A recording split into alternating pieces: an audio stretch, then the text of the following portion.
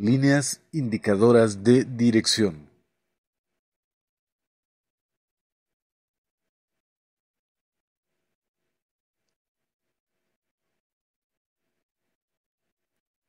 Como su nombre lo indica, son líneas que dan información sobre el movimiento de la figura que estemos dibujando.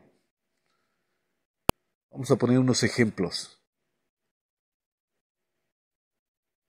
Vamos a pensar que estas son cabezas. Ya hemos visto que en otras ocasiones dibujamos la cabeza primero con una forma básica que parece un huevo. Así que hacemos lo mismo y estas líneas van a ser las que indiquen la dirección en que están mirando.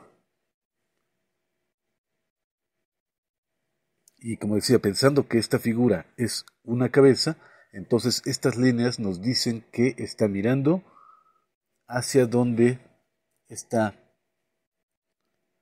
esta línea, esta flecha azul nos lo indica.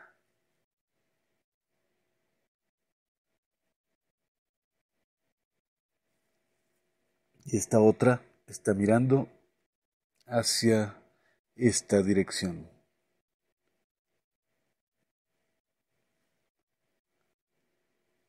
Esta ya tiene otras líneas, lo cual quiere decir que tenemos ya más información. O sea, ya está contenida en esos trazos más información que nos va a servir para nuestro dibujo.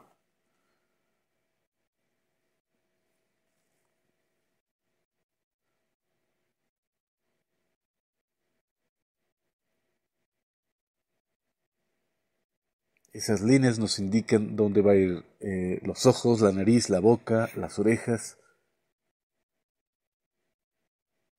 Y las líneas verdes pues son las que nos indican hacia dónde va a estar mirando esa, esa cara, ese rostro. Son las líneas indicadoras de dirección.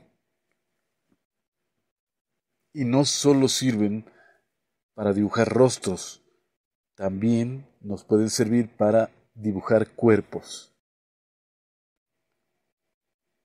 Vamos a poner un ejemplo.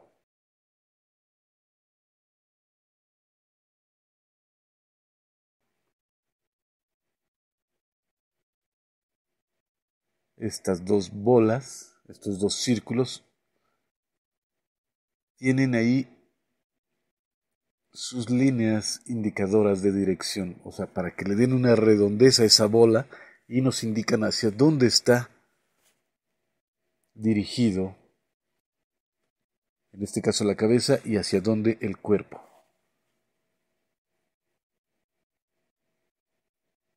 Es muy fácil de aplicar, son las líneas indicadoras de dirección y hay que ponerles atención porque sirven también para dibujo realista, no solo para dibujo de caricatura.